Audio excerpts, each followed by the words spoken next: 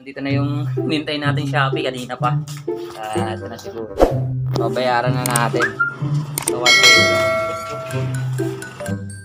Ano kaya? Ay na pa ka nag-aantay talaga. Ah, kasi nakita ako sa ano, shipping, shipping na eh. Sabi ko, hintayin ko na. Kaya thank you, thank you. Yeah, so, ito na guys, yung hinintay nating ano, ah, parts. Bali yung parts na to eh, dito sa motor ko. So, tignan natin kung kakasya.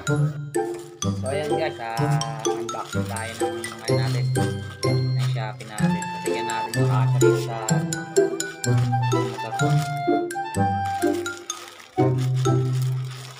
Tarang naman siya, ano, yung speedometer na naman ng motor. Siyempre, bago yung ano natin,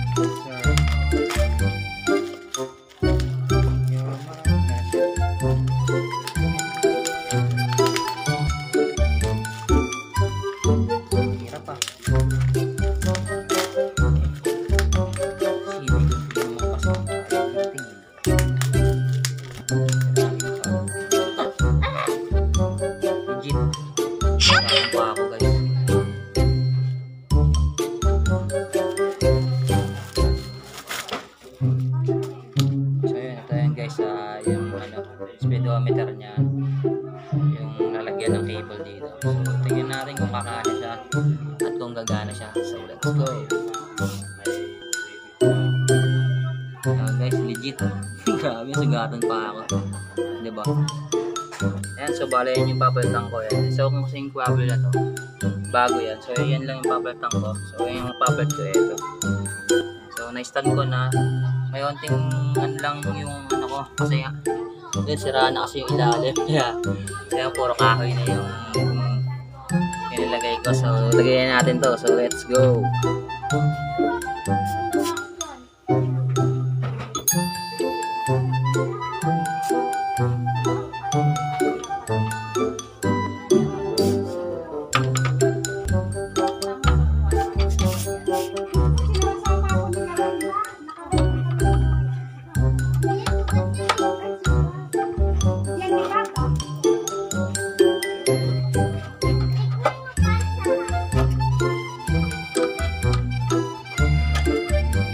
Natin kasi pag natanggal yung kahoy doon, mahatik.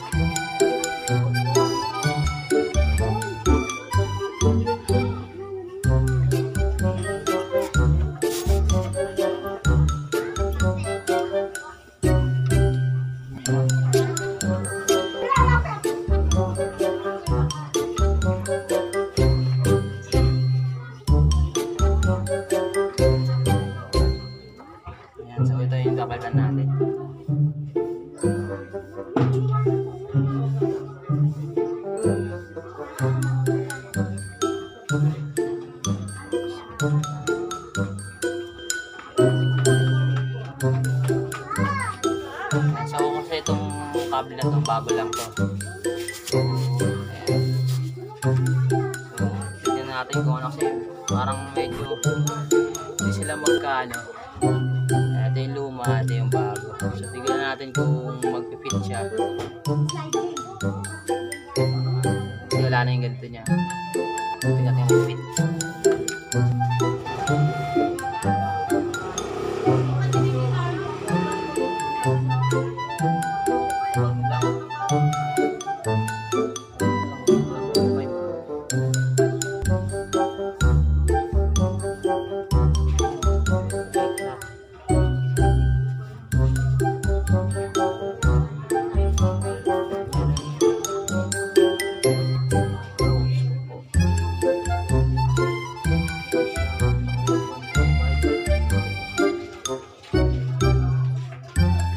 oh you.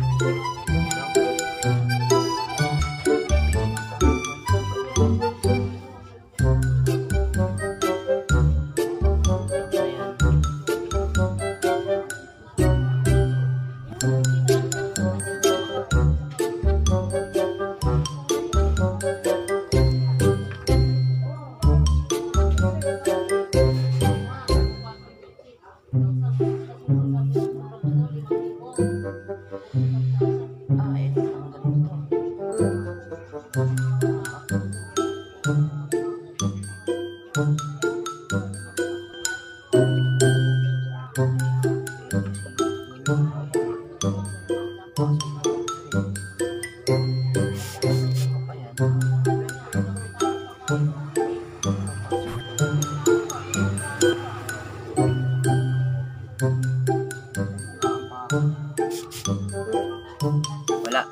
Mali ang nabili natin.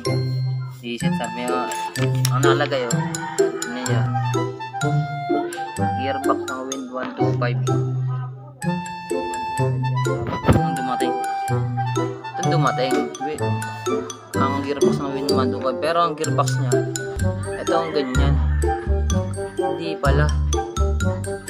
So, wala. Sayang pagantay natin. Sa mission field.